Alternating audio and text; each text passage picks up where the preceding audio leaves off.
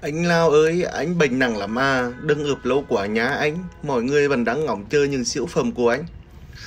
Ờ, thực sự là rất nhiều uh, câu uh, hỏi hán và động viên của tất cả các bạn thì mình cảm ơn các bạn rất nhiều. Và thực sự thời uh, một tuần qua thì mình đã nghỉ uh, nghỉ ngơi và bây giờ cảm giác nó khỏe lại hơn một chút thì bây giờ mình sẽ quay lại tặng các bạn một siêu phẩm và một siêu phẩm mà cái này thì hầu như ai cũng sẽ phải gặp một trong những cái trận đấu thua. Hầu như là người nào gặp thua cả. Khi các bạn cầm Nakarot các bạn thôi nói làm gì nào mời các bạn hãy cùng mình. Hello hello, xin chào tất cả các bạn. Ôi, cái, cái thằng này cái gì đó cấp mua ác thế. Đấy, nó phá mình từ đâu đến cuối các bạn ạ. Cớ khổ cớ han cái thằng này luôn. Rồi, chào anh em nhá. Sau một tuần uh, lần mất tích thì bây giờ mình đã quay trở lại với tất cả các bạn rồi đấy và thường thì mình cũng đã có nói được các bạn đó Thường thì chúng ta sẽ phải hầu như ai chơi liên quân mobile cũng sẽ phải gặp 1 cho đến 10 trận thua. Và người nhiều nhất thì ờ, chắc là mình Chắc thua về tầm vài chục trận về vào cái thể trận như này đâu Tại sao chúng ta sánh uh, ờ, Mà đánh cái kiểu gì gì gì gì thì cùng thua các bạn ạ. Đấy cái câu muốn thử là anh ơi tại sao em sánh nó đánh lết game vẫn cứ thua là sao anh? Thì nói chúng nó sẽ có rất nhiều nguyên do và nhiều cái nguyên nhân nó xảy ra mà các bạn thường các bạn không để ý tới. Đó chính là thứ nhất là cái đội hình của team địch nó vây lết game quá mạnh. Đấy. Thường thì uh, bởi vì những cái đội hình lết game quá mạnh thì đâu game nó yếu. Mà đâu game nó yếu thì thường chúng ta sẽ sánh. Mà thường chúng ta sẽ sánh thì sẽ phải đánh vào lết game nếu đông đội của chúng ta thọt. Đấy. Các bạn nhá như bạn đã thấy thì ờ, đây là một trận đấu nói chung là 7-7 thôi. Và mình đã được bá mảng rồi thì nói chung là một trận đấu này cùng nó cũng sẽ cũng rất là mông lung bởi vì không chúng ta không thể phụ thuộc vào đông đội của chúng ta. Vì thực thực thực chất là đông đội chúng ta chỉ biết đánh nhau không bao giờ biết đẩy đường không bao giờ biết uh, kiểu cảm giác như là uh, không tiết chế được cái cái cái cái cái, cái, cái màu đánh nhau của mình trong. Cho nên là thương thì sẽ kiểu uh, sinh ra để đánh nhau thôi. Đấy giết được nó thì cũng chả biết làm gì mà chết lẻ thì lại làm thơ đấu trận đấu cho nên đó rất nhiều cái nguyên nhân để khiến cho chúng ta một trận đấu khi về lết game chúng ta sẽ phải thua. Rất là cay đắng. Thì hôm nay đã có mình rồi, đã có mơ sướng rồi, đã có cương lao rồi, đã có cương lao ở đây để hướng dẫn anh em những cái thắc mắc đó. Thứ nhất, anh em phải cân nhắc cho mình những cái quan trọng nhất khi tất cả các bạn gặp những cái đội hình mà các bạn biết được rằng là trận đấu này sẽ đánh lết game. Thì chúng ta cũng sẽ xác định tư tưởng về những cái build của chúng ta phải lên, đó chính là cái Ryu Leviathan đầu tiên đấy Ryu Leviathan nó sẽ giúp cho chúng ta về giai đoạn rửa và lết game nó rất là mạnh như có những cái nội tài à, máu và tăng một chút lần giáp nó rất là quan trọng. Cho nên đầu tiên chúng ta phải định hình được rằng là chúng ta sẽ phải chơi build đồ này. Không phải nhất thiết cái trận đấu nào chúng ta cũng sẽ dùng cái đáo truy hồn đâu. Đó là cái đầu tiên. Cái thứ hai là chúng ta sẽ phải áp dụng những cái cầm nắng đẩy lẻ và những cái gì căng cái, cái, cái gì gọi, gọi gọi là phải là nhiều cầm nang nhất trong một trận đấu là chúng ta phải đẩy lẻ bắt lẻ và kéo dài trận đấu. Và cái cái này chúng ta sẽ sử dụng vào trong giai đoạn bây giờ luôn. Là vào giai đoạn khi mà team địch nó đang công nhà mình và team của mình thì chỉ biết đánh nhau xong là để đấy chả biết thủ đương thủ trụ. Thì đây là cách chúng ta sẽ phải vận dụng vận dụng tất cả những cái quan trọng nhất của Vinacarot đầy lẻ để chúng ta giữ trận đấu giữ trận đấu càng lâu càng tốt. Và các bạn biết rồi chỉ nên phản gánh chứ thực sự là không thể nào đi gánh được. Tím ở dưới đang đang đang, đang đánh nhau các bạn nhé mình sẽ di chuyển xuống dưới nữa. ôi cái thằng này không di chuyển được rồi. Và từ từ bình tĩnh bình tĩnh bình tĩnh bình tĩnh. Đấy là cái đánh nhau đấy. Bây giờ thì mình sẽ tập trung đầy quái cao thôi. Và sẽ bắt lẻ nó. Thì cái đó để làm gì? Không thể giúp chúng ta có một trận đấu đó. Khẳng định luôn đó sẽ kéo dài để giúp cho đồng đội chúng ta có đô. Đấy thì bây giờ mình sẽ đi xuống phản gánh ở đường dưới này. Thì ôi chưa gì là chửi nhỉ? Phải chấp nhận đấy nhỉ? Không, không thể không thể làm gì được cả. Rồi ok hay lắm tuyệt vời. Thằng Asian cá nha giết Asian cá trước này. Xong để diêu nhá. Rồi ok diêu luôn này. Để chạy thì đâu có xấu làm sao mới chạy được? Đây đấy chỉ là một phá phản gánh đó khi chúng ta gặp những cái thế trận này thì chúng ta không thể làm không thể đi gánh chủ động được. Bởi vì các bạn không thể nào là vừa đẩy lính vừa để lính cao ba đường vừa phải đi cướp bùa mà vừa phải đi gánh cái đó không thể. Chỉ chúng ta chỉ phản gánh đó khi chúng ta đã đẩy lùi lùi được một một cái tớn tím địch phản ờ, uh, tím địch công đấy thì chúng ta đẩy em dấu để chơi khó chịu thật anh em. Rồi chống chờ cho mình khi nào mà mà mà mà mà, mà, mà mình di chuyển ở đấu thì nó nó đi cướp thôi chứ. Thật đồng đội mới chơi cũng như vậy. Mình chưa bao giờ sở một một một, một tím địch mảnh các bạn nhé. Chỉ sợ đồng đội của mình thôi. Rồi chúng ta sẽ tiếp theo nhá. Và cái giai đoạn rửa game từ phút thứ 7 thứ 8 Chúng ta sẽ chơi với cho mình một cái lối đánh Đó chính là đẩy đường này, đẩy lẻ này, bắt lẻ này Quái cáp. Các bạn chỉ nắm bắt cho mình được như vậy thôi. Các bạn chỉ chơi cho mình easy như vậy thôi Thì chúng ta sẽ có được một trận đấu late game cân bằng nhất có thể.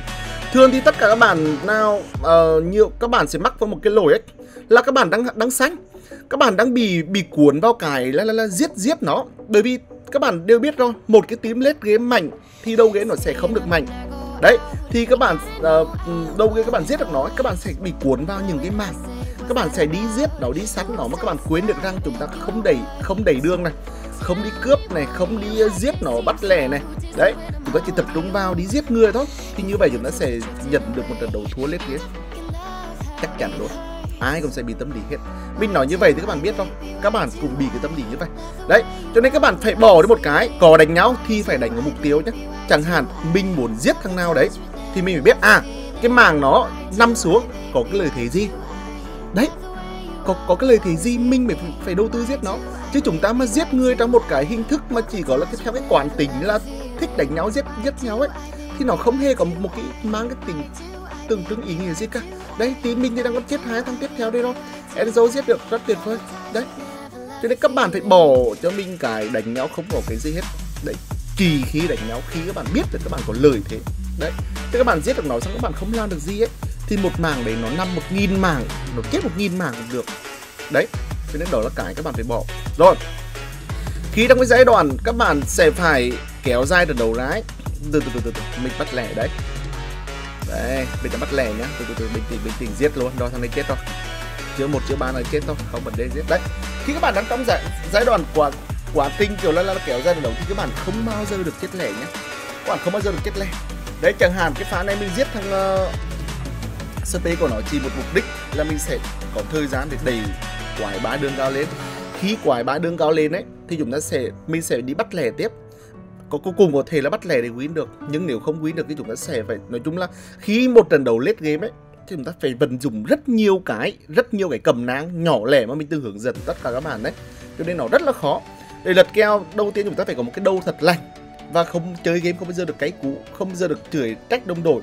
Các bạn mới bị xáo nhàng bởi những cái bực minh cái khó tính và các bạn sẽ bị mất đi cái đầu lành, bị mất đi những cái phản đoán thì các bạn sẽ chơi rất là phéo đấy rồi, tiếp theo bây giờ mình sẽ phân tích. Chưa đâu ờ ôi. Tím binh lại đánh nhau là các bạn kìa, lại đánh nhau kìa. Mình sẽ không đánh các bạn nhé, đánh cái phá này, các bạn hãy nhìn đi.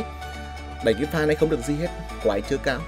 Đấy, và các bạn phải nhớ cho mình nhé, trong những cái clip nào mình cùng hướng dẫn tất cả các bạn đó đó là chỉ khi đánh nhau combat tổng khi ba đường lính của team binh cao. Các bạn nhớ chưa? Đây cái pha nó chấp nhận thôi, team mình có chết sạch thì còn mình cũng bao giờ thua trận đấu này đấy phải cho lính cao nhé. Đấy chắc hẳn đây ai cũng sẽ gặp những cái trận đấu nhưng mà mình thì khác nhưng gặp các bạn các bạn có bực không? Đấy nếu gặp những cái thế trận đấy đấy mình thì lo đi đẩy đường cho nó lo đi thủ nhà à, đẩy đường thôi để để để, để cho nó để có mát kết nó không bị mất nhà mất cửa thì nó lại đi đánh nhau. Có bực lắm rất bực. Cho nên các bạn phải tiếp chỉ các bạn phải hiểu được cái, cái vấn đề đấy. Rồi cái giai đoạn từ phút 11 đến phút 14 15 ấy là cái giai đoạn nó rất là then chốt khi chúng ta có thể là có dừ được trận đấu hay không, hoặc là chúng ta có win được hay không. Thì đấy là cái thời gian nó rất là nhạy cảm để có thể là phân đỉnh được một trận đấu. Thì cái giai đoạn này thì mình cũng sẽ phải tập trung bắt lẻ và đẩy đường. Nói chung khi cái giai đoạn này ấy, thì các bạn sẽ chơi thêm hai cái đó, tập trung bắt lẻ và đẩy quái. Đấy, chúng ta sẽ không không không không không thể nào là, nói chung là hạn chế có mắt tổng hết sức có thể các bạn nhé hạn chế có mắt tổng hết sức có thể bởi vì team nó lết game có mắt rất mạnh và các bạn không được có mắt của nó quá ba người trở lên. Giai đoạn này các bạn mà có bát với nói các bạn sẽ bị bốc hơi mặc dù của real leviathan bởi các bạn như nào các bạn chỉ cần dình choàng vào cá thôi. Thằng Emily thì các bạn biết bây giờ mình không thể nào đánh được thằng Emily đâu các bạn chơi mình bản đồ phát chơi mình bản đồ phát mình đi băng sướng mà mình mình mình cái liềm phát. Đấy bây giờ có, có uh, nó hỗ trợ bản đồ rất rất đơn giản đấy rồi đấy mình sẽ phân tích tiếp nhé. Các bạn phải lắng nghe này. Thứ nhất tuyệt đối 100% không bao giờ được có mắt tổng mặc dù mình thấy sai đâu. Là nó không đánh cho dù team mình có đánh mình không bao giờ đánh. Quái đáng cáo quái đáng cáo không bao giờ đánh được. Đấy các bạn phải cân nhắc cho mình cái, cái vấn đề này nhá. Phải đầy quái thật cao. Đấy hạn chế có mắt tổng hết sức có thể. Đấy mình sẽ đang đầy lịch nhá. Và khi chúng nó đầy lịch chúng ta sẽ phải biến tín địch nó di chuyển theo mình. Các bạn biết là đây đây đây là đây đây là cái lối chơi ru ngủ nhá cái lối chơi ru ngủ đấy các bạn thấy chưa? Thằng Emily và thằng Diu nó đang di chuyển bắt mình. Không được và mình sẽ quay lại bắt thằng Bít nó. Và bây giờ thằng theo Anap và thằng con thằng ba ba đúng nó. Thì mình mình sẽ vào mình nấp trong rừng và sẽ bắt thằng theo Anap đấy. Nếu không bắt được mình sẽ để được đây là cái lối chơi. Mình sẽ di chuyển ba đường sẽ khiến nó sẽ khiến thằng Diu nó chúng thu hút những cái uh, sát thương chủ lực của nó. Khiến thằng Diu Emily nó sẽ cuốn vào mình và mình đây đây đây đấy thằng theo nát thằng theo nát đi lẻ thằng theo nát đi lẻ đấy rồi, đấy. Các bạn nhé tuyệt vời, hay quá. Đấy là một pha combat sướng sướng rồi ngó rồi, hay quá các bạn nhé khi các bạn có sai thằng theo nát chỉ cần đi lẻ thôi. Thì chúng ta sẽ giết nó. Nhưng mà làm làm thế nào các bạn?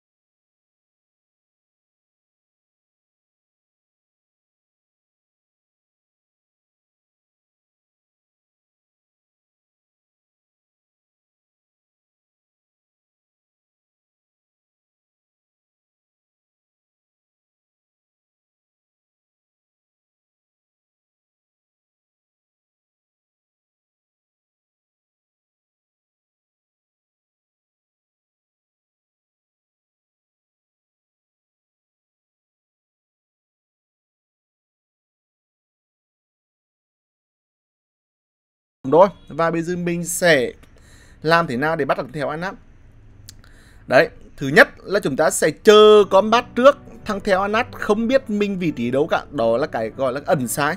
Các bạn sẽ phải giấu sai nhé chúng ta phải giấu sai và chúng ta sẽ lao vào bắt nó. Cái thứ hai là chúng ta sẽ phải chờ thằng theo anat nó không được cover. Nó đừng im nào bắn. Cố lập. Thì đó là cách vào tuyệt vời theo mình nghĩ thì đó là sẽ là hai cách để vào theo anat thôi. Còn cách thứ ba chúng ta sẽ bay vào trực diện thằng theo anat mặc dù uh, team nó có cover thì đó là ba cách. Những cách thứ ba thì nó sẽ rất là hên xui. Rồi bây giờ thì mời các bạn hãy cùng trải nghiệm trận đấu của mình các bạn nhé ok.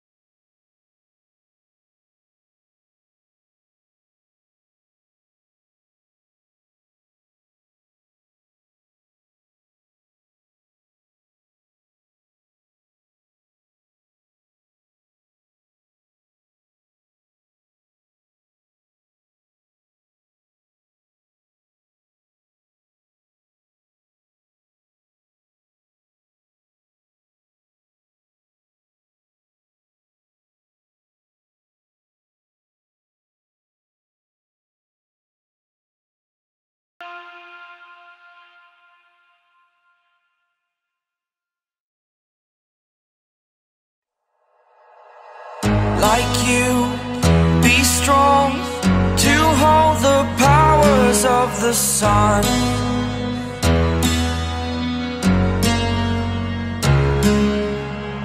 To dream